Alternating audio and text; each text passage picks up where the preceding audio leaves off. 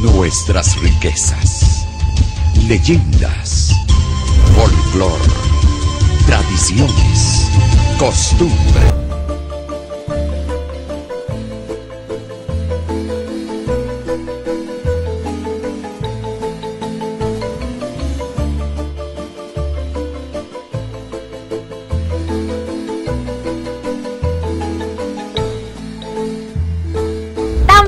Como su canción Luna de Xelajú y desde donde han nacido grandes artistas y grandes líderes. Hoy me encuentro en el bello departamento de Quetzaltenango viviendo una vez más Guatemala, disfrutando de sus checas, su historia y una pequeña leyenda que los invito a que vean este Viva Guatemala. Bienvenidos.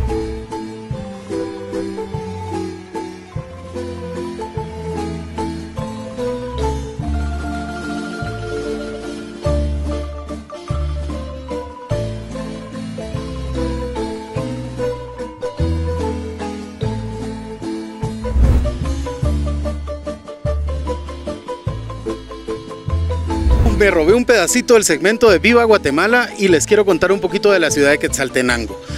La ciudad de Quetzaltenango es fundada el 15 de mayo de 1524 por el conquistador Pedro de Alvarado. Entonces aquí tenemos muchas cosas que dar a conocer. Lo importante y el reto de los quetzaltecos es esto.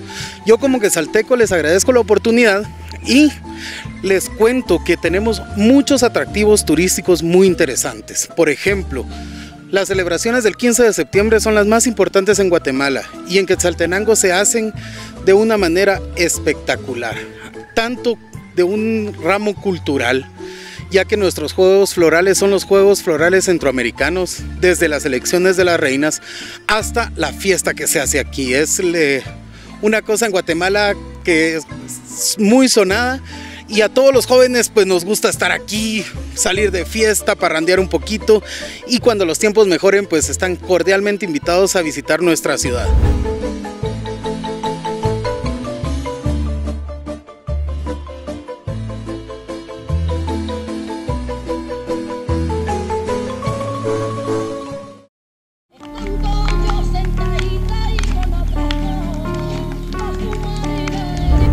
Las leyendas más reconocidas del departamento de Quetzaltenango es la leyenda de Banushka, la gitana que murió de amor.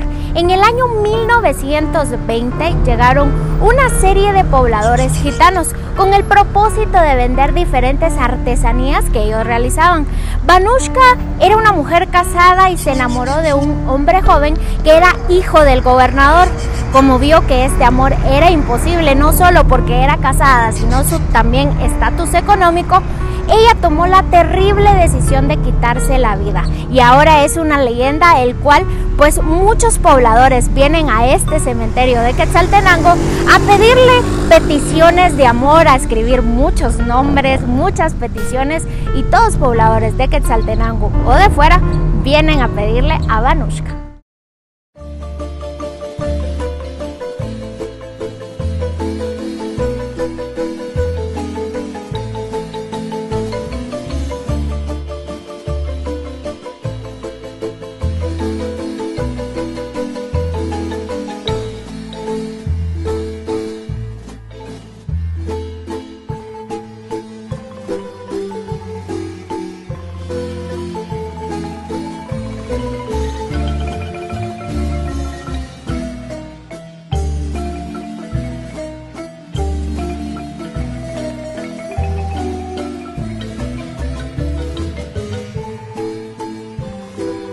Su infraestructura concluyó en el año 1894 y es así como despido desde el Teatro Municipal de Quetzaltenango este segmento de Viva Guatemala, el cual tiene muchísima historia, el cual además lo invita a usted a que venga a visitar este hermoso departamento de Quetzaltenango.